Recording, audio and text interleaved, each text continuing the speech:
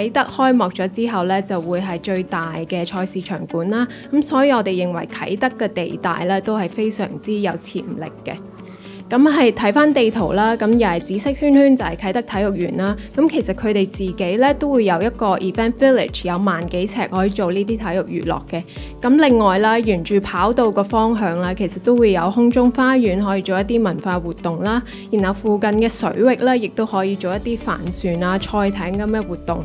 咁去到最尾呢，就係方艙醫院嘅用地啦，而家係一個空置咗嘅情況嘅。咁我哋建議咧，政府都可以用嗰個地段啦，去做一啲體育娛樂啦，譬如係市集啊、嘉年華啊、燈光表演呢啲嘅活動嘅。